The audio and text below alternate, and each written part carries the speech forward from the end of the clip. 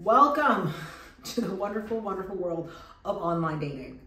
So you are single and you decide to put yourself out there and start dating online. You have to do a profile. What do you put on it? What are you gonna say? I'm here to help. My name is Sherita Janielle and I am a dating expert and I'm gonna help you navigate so you can put the best dating profile to put your best foot forward and find the man or woman of your dreams.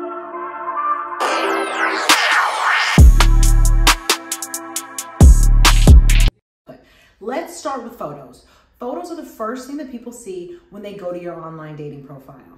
But so many people make mistakes and I'm not sure why they do this.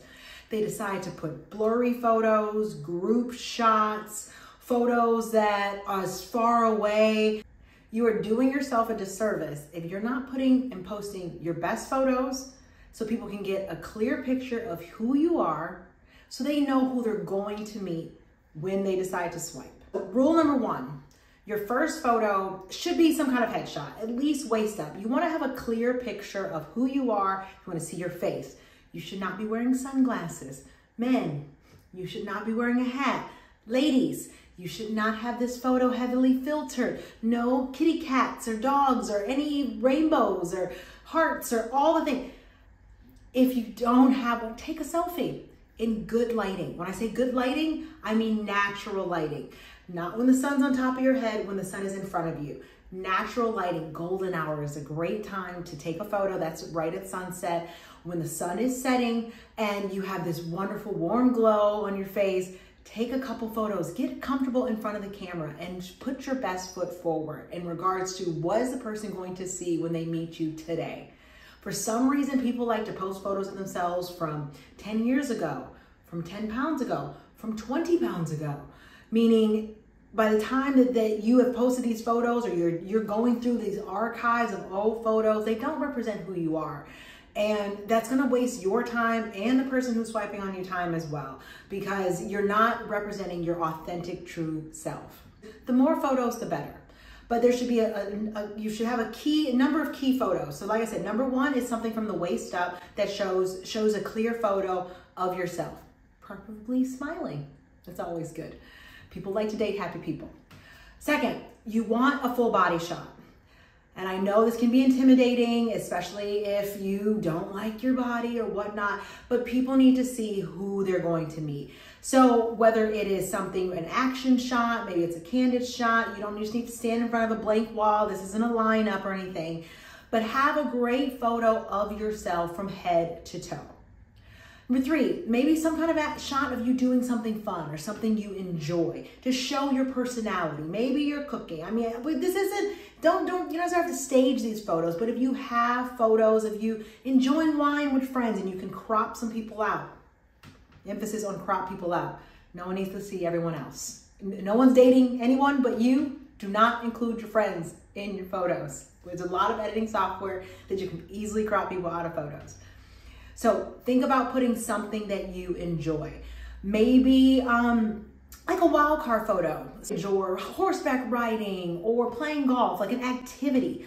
That's always great too. You want to give people a well-rounded picture of who you are through your photo. Now let's go to profile. And these are some of, this is the difficult part because I feel like people, they get stuck on not knowing what to put on their profile and they end up not putting enough.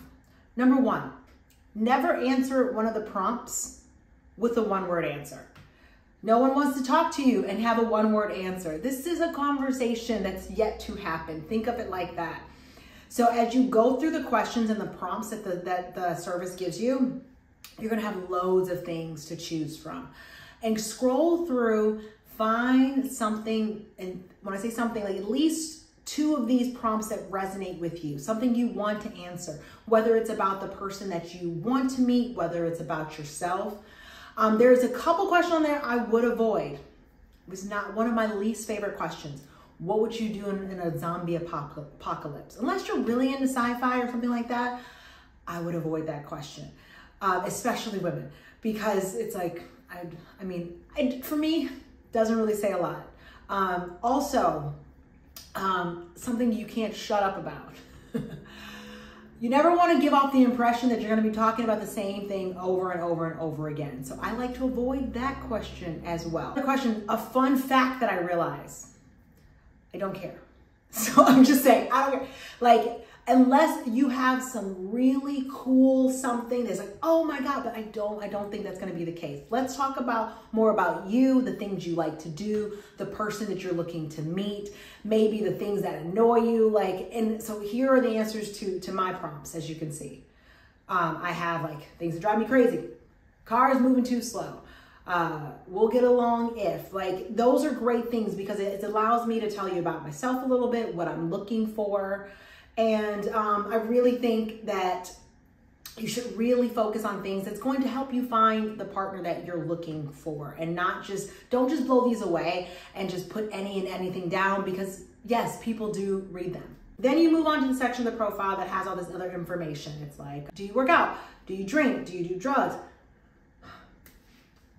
Be honest. If you if you do drugs, if you like weed, indicate that. If you don't, indicate that because people really date people based upon these preferences. You don't want to answer things that you think you want people to hear. You want to answer who you actually are because I honestly believe there is someone for everyone, but if you're not representing your true self, how are you going to find that person? So I generally say less is more. But when it comes to online dating, more is more. If you want to, uh, what you do, uh, if you want a relationship, if you're looking for kids, like indicate these things. And when I say, do you want a relationship? There's there's one function on Bumble that says like, what are you looking for?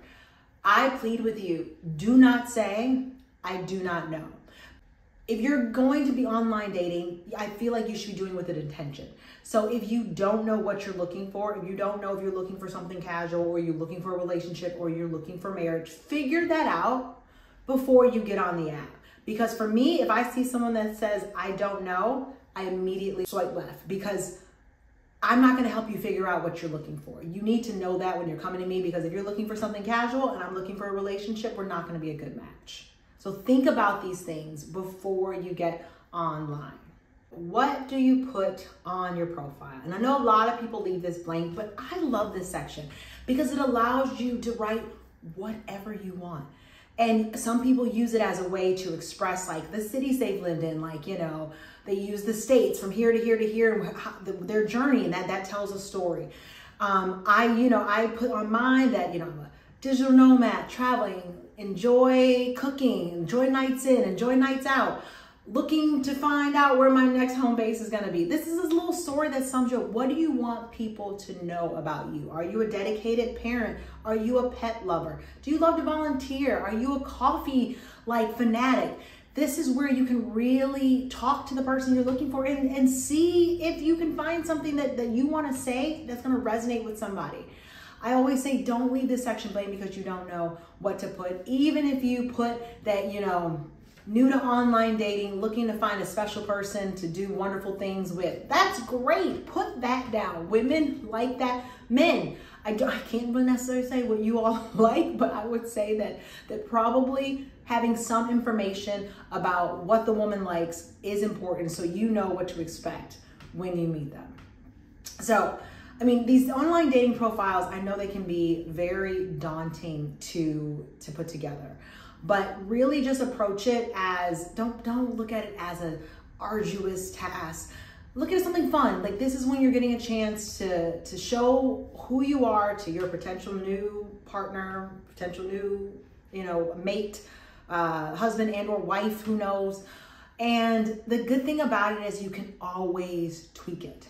If you find that you're not getting the swipes that you like just switch your pro switch your photos out um, if you find that people aren't really responding to your prompts, switch them out. Tell a different story then. A lot of people, they're, they're layered. There's a lot of things going on. And it's just what you choose to tell people is going to determine what you attract. If you found this helpful, be sure to subscribe to my channel, like this video, and share it. And please follow for more dating tips.